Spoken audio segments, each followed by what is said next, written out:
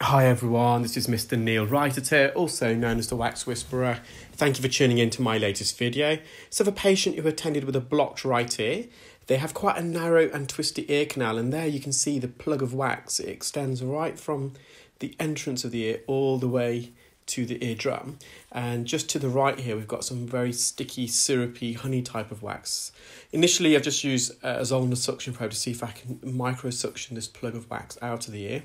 And I'm just trying to go to the base of the ear canal and lift it off the base, so detach it from the bottom part of the ear canal. Quite often, you get skin adhesions that not only attach themselves to the surface of the ear canal but to the underside of the wax plug and I've got a suction grip here and I'm trying to wriggle this out. However, because the patient's ear is quite narrow and twisty, this um, plug of wax, dry plug, it's well and truly uh, lodged and I'm just giving it a second attempt with the suction probe and you can see we, we know we're at the entrance because we can see all the cilia, the hairs. So these hairs are typically located on uh, the first bend of the ear canal, which is about a half a centimetre into the ear.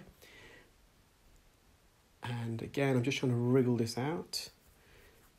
So instead, I think this stage I'm going to resort to a St. Bart's ear hook and I'm trying to insert the hook as deep as possible into the ear. And you can see I'm slowly using the tip of the fork of the hook to br- uh, extract the wax out. And then before I embedded the, the tip of the hook into the core of the wax and before slowly extracting it. It's quite a long piece of wax there, it almost looked like a cigar. And you can see the patient's got a very nice, healthy eardrum. Probably appreciate how narrow the ear is now that I've removed the wax. So I'm just going to go back now. I'm just going to mop up all this residual wax. Now, this wax is just um, wax that's coating the ear canal wall. It's not significant per se. It's not going to uh, cause any hearing loss, but because it's near the entrance and the cartilaginous portion, I'm just going to see if I can remove as much out as I can possibly, as safely as possibly. That's the key. And that's because because it's sticky, it may not migrate on its own accord. Sometimes with sticky wax, the wax gets trapped near the entrance. So I'm just using a Jobson horn now, and I'm just using it to slowly scoop the wax um, off the surface of the ear, uh, the ear canal itself.